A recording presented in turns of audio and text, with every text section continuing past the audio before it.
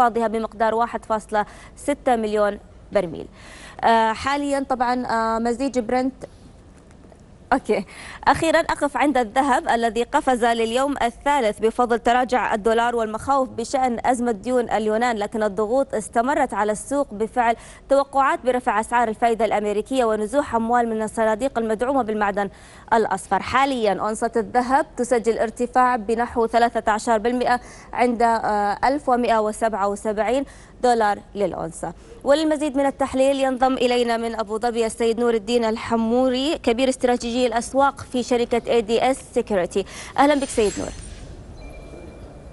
أهلا وسهلا. سيد نور أبدأ معك من الأزمة اليونانية، هل تتوقع أن يتم الإعلان خلال الأيام القادمة عن حل الأزمة اليونانية بما أننا نترقب اجتماع رئيس الوزراء اليوناني مع المستشاره الالمانيه والرئيس الفرنسي؟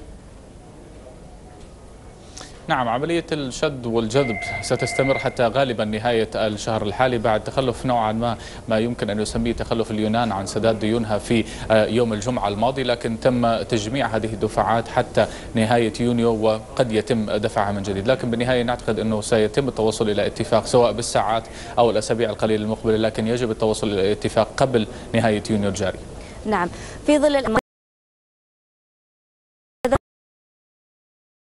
شهدنا خلال الجلسات الماضية تذبذبات حادة للمؤشرات الأوروبية برأيك إلى أين تتجه الأسهم الأوروبية وهل إمكانية خروج اليونان من الاتحاد الأوروبي سيكون لها تداعيات سلبية كبيرة على الاتحاد على اقتصاد الاتحاد الأوروبي؟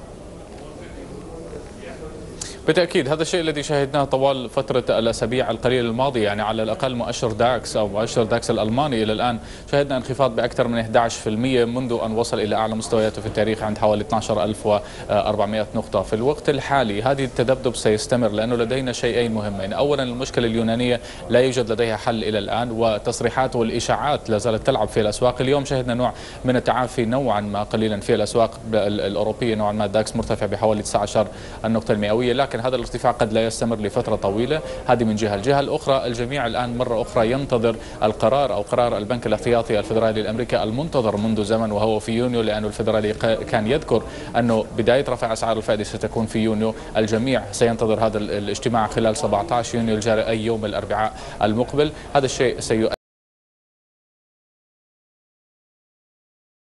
إلا استمرارية الزخم في الأسواق وأيضا التذبذب في نطاق واسع نعم. دون دون وجود اتجاه واضح أو وجود اتجاه واضح حتى يوم الإعلان عن تقرير عن قرار الفدرالي الأمريكي.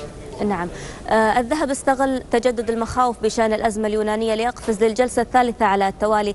لكن من الواضح أن المخاوف من خروج اليونان من منطقة اليورو كان لها تأثير أقل على الذهب مما كانت عليه في فترات سابقة. كيف تفسر ذلك؟ وإلى أين يتجه الذهب. المرحلة المقبلة؟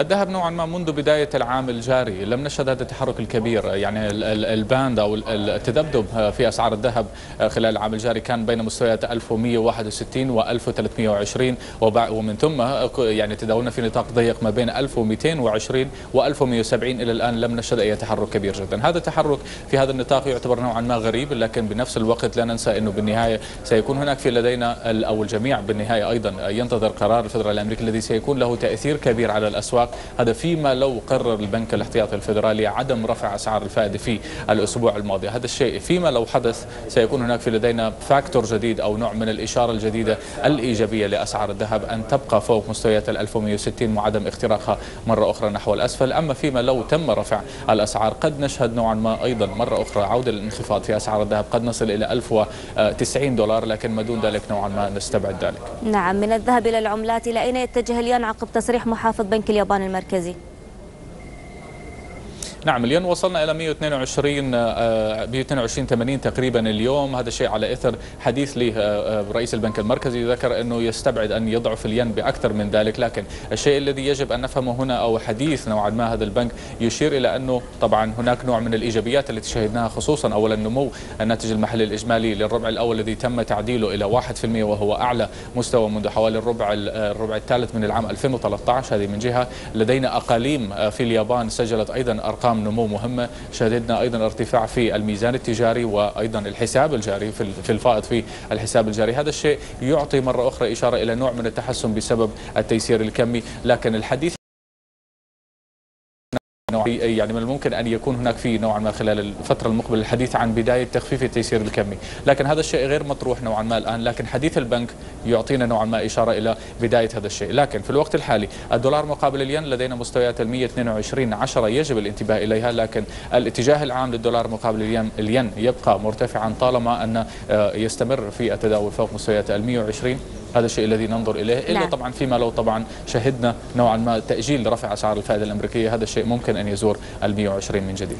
سيد نور الدين الحموري كبير استراتيجي الأسواق في شركة اي دي اس شكرا جزيلا لك.